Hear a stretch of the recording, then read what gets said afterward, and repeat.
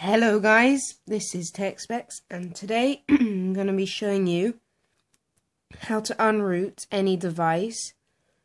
This is for any device that you've rooted, but I'm showing this on the Samsung Galaxy S3 Mini. It works with S3 Mini, S uh, sorry, I'm showing this on the S3. This works on the S3 Mini, S3, any single Android phone. So, this is the quickest way I know on YouTube that I've all the other ways is by far the quickest and you can do it from your phone. So what you want to do is go onto Play Store. Then you want to type in super super user. See that? Super super user. Then you want to do the biggest mistake is people download that. You want to just go down a bit and download Super SU. What now you download that and let's say I'm just gonna update it. So you guys so you guys know exactly what it looks like. So this is I'm doing this as if I've just downloaded that. So I promise you guys this is the quickest way you'll find out of all the videos and it's from your phone and I was shocked when it worked. So once you've downloaded that you want to open it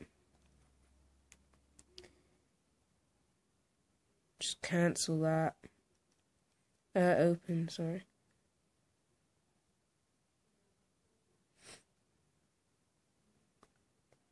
Okay.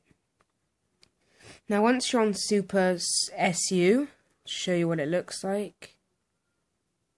There, it looks like some sort of Superman app. You want to go on it. And all you have to do, it's shockingly quick, go on settings Scroll down. Scroll down, scroll down. It's right to the bottom. And what you want to do is click full unroot. You want to press continue, uninstalling,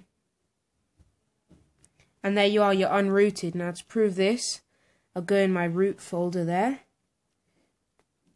and for example, let's go on titanium backup. Shut it down first actually so you can see.